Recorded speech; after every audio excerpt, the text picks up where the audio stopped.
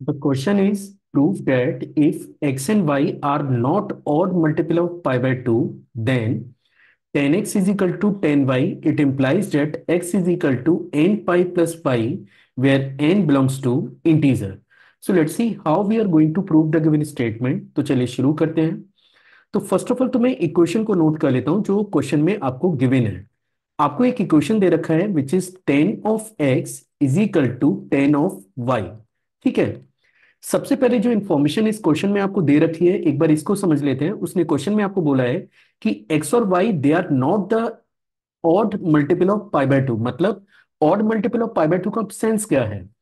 जैसे pi by two ये odd multiple of pi by two है one into pi by two आप इसे रीड कर सकते हैं अगला टर्म आता है थ्री पाई बाय टू ये भी odd integral multiple of pi by two है similarly five pi by two seven pi by two nine pi by two या फिर अगर आप नेगेटिव में जा रहे हैं तो minus pi by two, minus three pi by two, minus five pi by two, ये सब odd integral multiple of pi by two है। अब क्यों आपको ये बोल रखा है कि ये जो एक्स और वाई है, वो पाई बाय टू के ऑड इंट्रीगल मल्टीपल नहीं है? उसका रीजन ये है क्योंकि पाई बाय टू के ऑड इंट्रीगल मल्टीपल पे टेंजेंट की वैल्यू डिफाइन नहीं होती है है ना? जैसे टेन नाइनटी डिग्री है, टेन टू सेवेंटी डिग्री है। अगर अब मैं आपसे पूछूँ कि भाई what is the value of tangent of tan ninety या टेन टू सेवेंटी तो आपको ये कमेंट करना पड़ेगा कि सर ये तो डिफाइन ही नहीं है यहाँ पे है ना? तो पहला पार्ट तो ये हो गया कि जो फ़र्स्ट uh, लाइन आपको क्वेश्चन में दे रखी है उसका सेंस क्या है? तो केवल ये था कि एक्स और y they are not the multiple of odd they are not the odd integral multiple of pi by two. फिर अब एक कंडीशन आपको दिया कि अगर आपको tan x is equal to tan y के इक्वल रिक्वायर्ड है अगर आप इस इक्वेशन को सॉल्व करने जा रहे हैं तो ही वर सेइंग कि इसका सॉल्यूशन आपको मिलेगा। X is equal to n pi plus y वाले फॉर्मेट से where n is belongs to any integer तो चलिए देखते हैं कि हम लोग इसको कैसे डिकोड कर सकते हैं। सबसे पहले तो टेन uh, एक्स को मैं लिख सकता हूँ that is sine x over cos x तो मैं एक्सपेक्ट कर रहा हूँ कि इसमें तो आपको कोई इशू नहीं होगा क्योंकि tangent tan of x sine x upon cos x के बराबर होता है और राइट हैंड साइड वाले पार्ट को आप लिख सकते हैं sine y over cos of y के। ठीक है? नेक्स्ट स्टेप में आप चाहें तो इसको लेफ़्ट हैंड साइड में ट्रांसफ़र कर लें तो ये बनेगा sine x over cos x minus sine y over cos y and that is equal to zero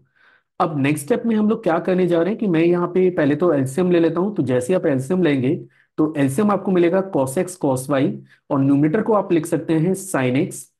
into cos y minus sine y sine y into cos of x and that is equal to zero ठीक है? अब हमारे पास एक trigonometrical identity है of sine of A minus B है ना? तो sine of A minus B पे अगर मैं कमेंट करूँ तो ये बराबर होता है sine A cos B minus cos of A into sine of B के।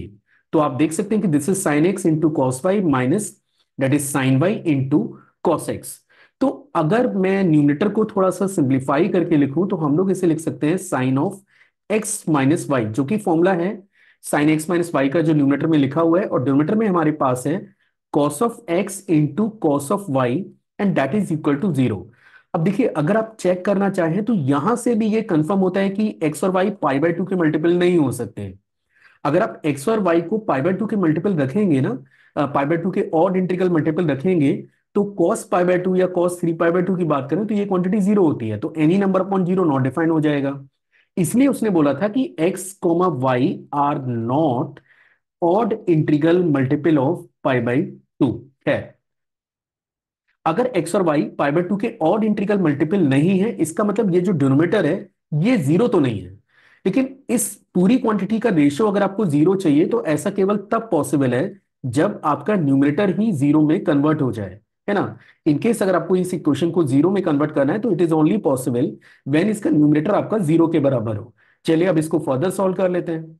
अब मे बी अगर आप इस चैप्टर को स्टडी कर रहे हैं तो आपने sine theta is equal to zero का जर्नल सॉल्यूशन स्टडी किया होगा। अगर आपके पास इक्वेशन है sine theta is equal to zero तो इसका जनरल सॉल्यूशन होता है theta is your n pi where n belongs to integer it means आप इसे लिख पाएँगे x minus y is your n pi, where n belongs to integer, or we can say x is your n pi plus y, where n belongs to integer. And that is actually the statement जो आपको इस theorem में proof करना था कि अगर आपके पास इक्वेशन है tan x is equal to tan y अगर आपके पास इक्वेशन है tan x is equal to tan y जहाँ पे एक्स और वाई पाई बाय टू के और इंट्रीगल मल्टीपल नहीं है तो गिवन इक्वेशन का सॉल्यूशन होता है x is your n pi plus y where n belongs to any integer.